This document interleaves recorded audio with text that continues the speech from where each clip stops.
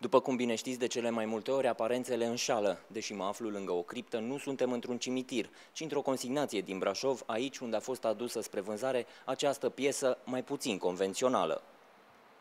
Cum a ajuns această criptă la dumneavoastră în consignație?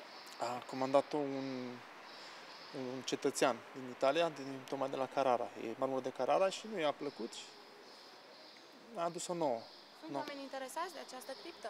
Da, da, sunt, mai ales cei de la, din părțile rurale, de la sate. Deși ideea pare un pic macabră, după cum au spus și unii dintre clienți, patronul afacerii nu crede deloc acest lucru și consideră că, oricum, moartea face parte din viață. Este acolo și o criptă. Ce... Da, asta am spus că mi se pare complet aiurea. O- Un obiect funerar este făcut pentru un anumit mormânt, deci mi se pare complet aiurea să fie într-un magazin. Ați cumpăra o astfel de piatră funerară? Nu e pe gustul meu. De ce? Mm, Culoarea, cred. Și poate nici dimensiunea. Ce credeți, să nu fi avut bani cel care a adus-o la vânzare? Nu neapărat. Cred că e, e în plus. Atât, atât. Eram foarte curios așa că cum de a, a ajuns aici. Ați cumpăra așa ceva? Nu. De ce? Păi, fiindcă nu mă consider să am nevoie încă de așa ceva. Nu vi se pare un pic morbid să găsiți așa ceva într-un magazin? Cu Dumnezeu nu. E foarte, foarte a, ceva ieșit din comun.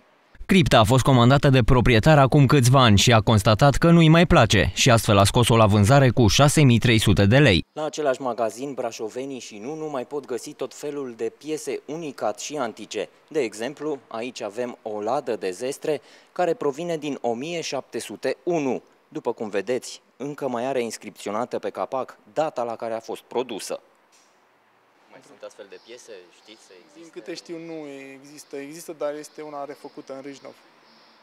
Este un pic mă, recondiționată, tot din 1700, tot o ladă baroc. Așadar, dacă simțiți că și pe dumneavoastră v-a lovit criza și trebuie să scoateți bani din piatră seacă, uitați-vă prin casă și vedeți de ce v-ați putea lipsi. Aproape totul se poate vinde aici, singura condiție este ca obiectele pe care le aduceți să fie în stare bună sau funcționale, dacă este vorba despre electrocasnice sau electrice.